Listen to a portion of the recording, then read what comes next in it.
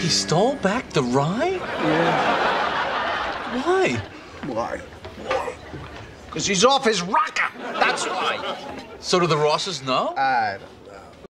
If you wish to attain fluency in English, knowing idiomatic phrases is a must. English has emerged as the dominant world language, opening up a world of opportunities for those proficient in it. So buckle up, it's time to dive into the colorful world of English idioms.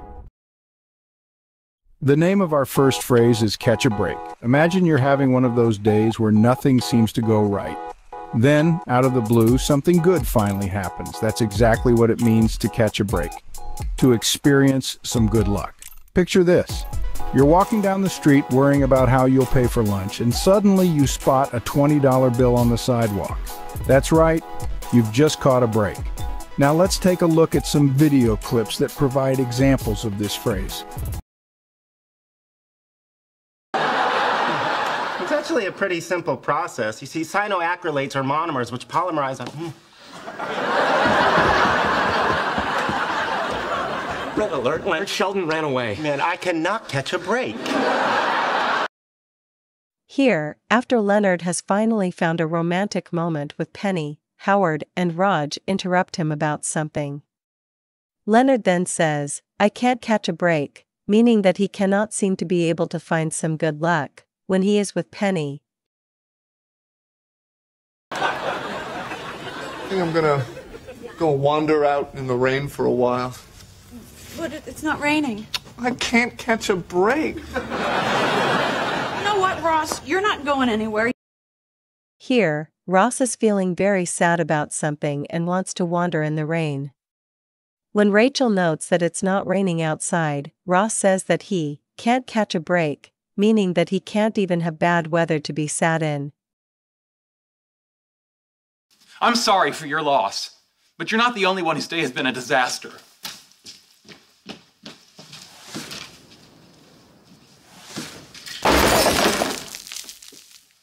Could have killed me. I Can't catch a break. Here, after Stuart's comic store burns down, he almost has a piece of the building fall on him. He says that he can't catch a break, because he thinks that if the ceiling had killed him, he would stop feeling sad. And just to summarize, catch a break means to have a piece of good luck. Now, with all of the previous examples, we heard the phrase, can't catch a break. This obviously means, can't seem to get a little luck. The name of our second phrase is up your alley. Imagine you have a hobby or something you're really good at. The phrase up your alley means exactly that.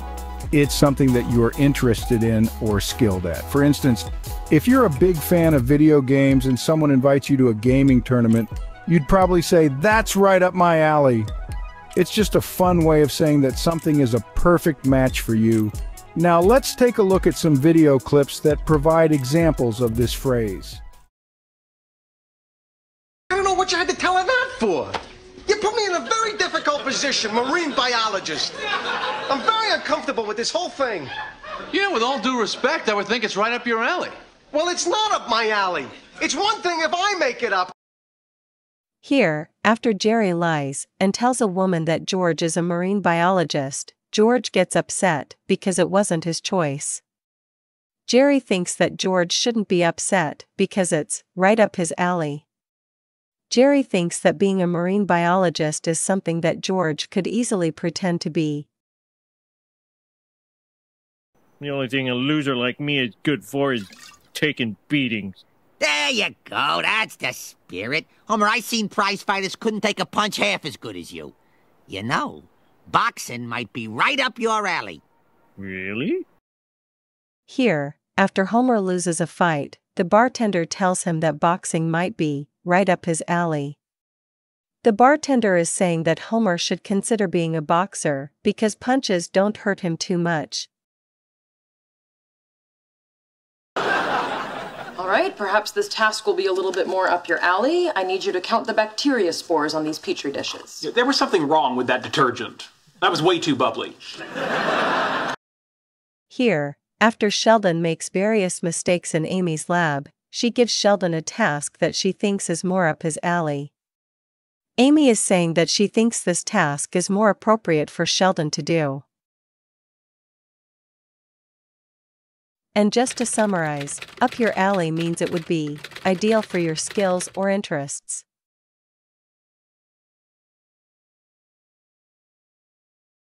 All of us here at TD English hope that you're enjoying these videos, but we need your help. The YouTube algorithm doesn't really support us because we are a young channel. If you enjoyed these videos, please share them on social media. We really do need your help. We also want to thank all of you for subscribing and helping us. The name of our third phrase is back to square one. Imagine you're building a tower of blocks and it topples over. What do you do? You start building it again from the base, right? That's what back to square one means. It's about beginning all over again because something didn't work out the first time. Like when you try to bake a cake and it doesn't rise, you don't give up, you go back to square one and try again. Now, let's take a look at some video clips that provide examples of this phrase. Ooh, if you take the northern route, there's a man in Illinois with a beard of bees. Great, problem solved. But on the southern route, there's a chicken that plays tic-tac-toe. Well, back to square one. Here, after Joey realizes that Phoebe has left him confused as to how to travel across the country, he says, back to square one. Joey is saying that he is once again confused which way to go, and that he must reconsider everything again. I'm really regretting that I got you a Happy Meal. I've worked so hard to get where I am, and I don't want to get sent back to square one because I'm pregnant. I understand how you feel. Here, Bernadette is afraid that since she has gotten pregnant, her employer will take away her current position at work. She refers to this as being sent back to square one, since she might be demoted to a job that offers little challenge to her. I rose to a position of respect, and I assumed my career would continue on that upward trajectory. Now here I am in my 30s. I'm back at square one. And frankly, it's frightening. Here, Sheldon is sad because he thinks that he has been unsuccessful as a scientist. He believes he has to go back to square one, and it scares him. He is saying that he feels like he has to start over in his career. And just to summarize, back to square one means to go back to the start or the beginning of something. The name of our fourth phrase is apples and oranges. When someone says apples and oranges, they're talking about comparing two things that really shouldn't be compared because they are so different. Imagine if someone asked which is better, a bicycle or a car.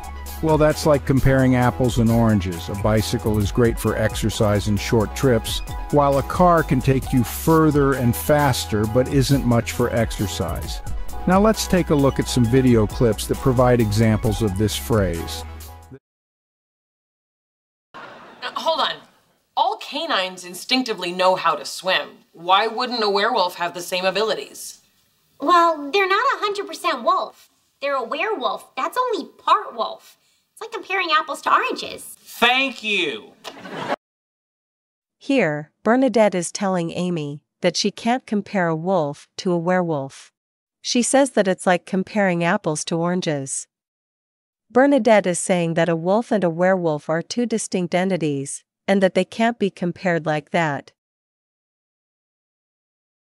You know that just last week she had Howard drive all the way to her uncle's house in Orange County to pick up her TV? You want Ted Leonard and me get your television from your ex-boyfriend? Apples and oranges here, Sheldon. I'm telling you, that girl is a user. Here, after Penny becomes critical of a woman that she feels has treated Howard unfairly, Sheldon says that Penny has done something similar in the past as well. Penny is embarrassed, and although Sheldon's comment is true, Penny says that it's like comparing apples and oranges. She's saying it's not a fair comparison. Sure, how much? Hundred dollars? You're on. Wait a second, wait a second. Count me in on this. You? Yeah. You'll be out before we get the check. I want to be in on this too. Oh, no, no, ah, no. That's oranges. It's all- Here, in this award winning episode of Seinfeld, Elaine wants to enter into the same contest that the men are having. However, the men say that it's not fair because she's a woman and that it's apples and oranges. The men are saying that her participation wouldn't be fair to them because women don't act the same way as men. And just to summarize, compare apples to oranges refers to two groups of things that are completely different. Do you like the new format of this video? We are genuinely interested in your thoughts. Your comments and viewpoint matter a lot to us. Sharing your opinion below would help us in improving our future content. So feel free to comment below. The name of our fifth phrase is loose cannon. Imagine someone who doesn't follow the usual rules and often surprises everyone with their actions. This person can be described as a loose cannon. They're unpredictable and sometimes their actions can lead to unexpected problems. For example, if someone at work often makes rash decisions without thinking about the consequences, their colleagues might whisper, watch out, here comes the loose cannon. Now let's take a look at some video clips that provide examples of this phrase. And rounding out the crew is Mr. Piranha. He's a loose cannon with a short fuse, willing to scrap with anyone.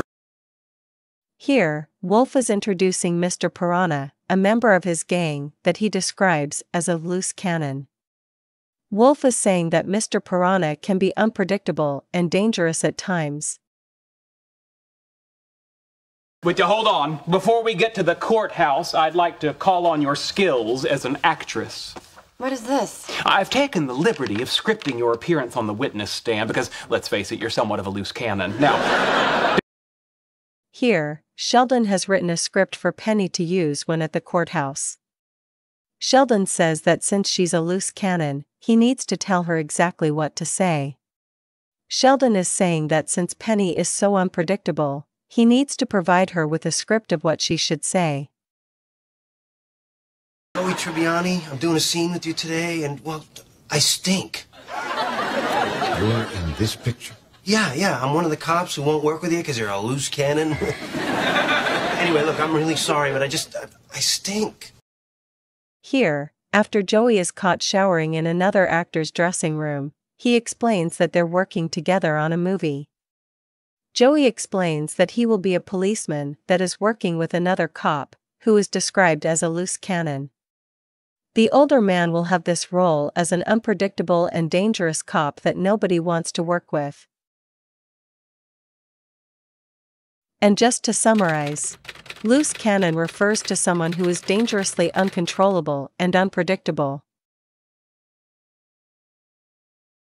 The name of our sixth phrase is shed some light. This phrase is a handy tool in our language toolbox. To shed some light means to explain or clarify something. Imagine you're in a dark room and someone turns on a lamp, suddenly everything becomes clear. That's exactly what this phrase does with confusing topics. For instance, a good teacher can shed some light on complicated subjects like algebra, making them easier to understand. Now let's take a look at some video clips that provide examples of this phrase. You two had any recent disagreements? Small point. Mr. Little here is a witness. Your question seemed to suggest he's a suspect. Maybe it's just me. You might try asking were there any cars parked in the street, any strange people in the area. You know, any information that might shed some light on who killed her. You do want to know, right? Here, a lawyer is telling a detective that he should be asking questions that will shed some light on who the killer is. The lawyer is telling the detective that he should be asking more appropriate questions that might explain who the actual killer is. But first, I regret to say I see a youngster who looks troubled. What's your name, young man? Bart Simpson, sir. Hmm. Well, perhaps we can shed some light on your problem in a new segment exploring pre adolescent turmoil. I call it Choices. I don't think so, sir. Here, a man says that he thinks Bart should participate in a program that will help shed some light on what is bothering him. The man is saying that Bart should participate in a special program to help explain why he is sad and what needs to be done to solve his problem.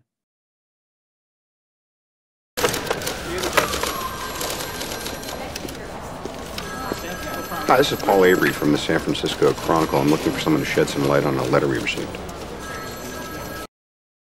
Here, a reporter is calling someone that he is hoping can shed some light on a letter that they received. The reporter is hoping that the person he is talking with will be able to assist him in finding out who sent the letter to their newsroom. And just to summarize, shed some light means to explain or make something easier to understand. Our seventh set of phrases describes someone who is crazy. These colorful expressions include lost your marbles, out of your mind, off your rocker, out to lunch, and the lights are on but nobody is home. Each portrays a different shade of zaniness. For instance, if someone has lost their marbles, it suggests they're not quite on the ball, perhaps forgetting things or making odd decisions. It's a playful way to say someone isn't thinking clearly or acting rationally. Now let's take a look at some video clips that provide examples of these phrases.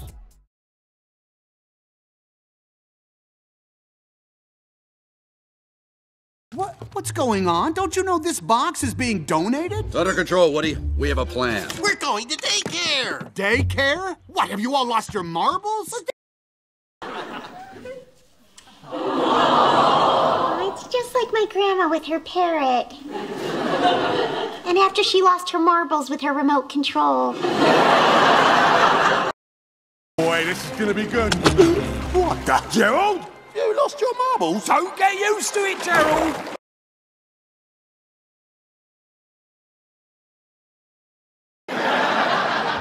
Will you tell him he's out of his mind? Actually, I get what he's saying. Oh, yes! Nine! Welcome back, buddy. Katie Lloyd will be my lawyer.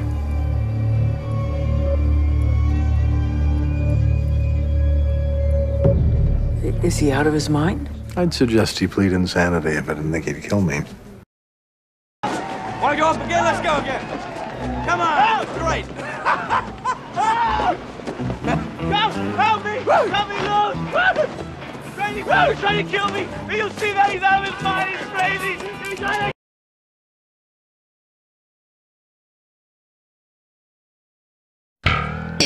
He stole back the rye? Yeah. Why? Why? Because he's off his rocker. That's why. So do the Rosses know? I don't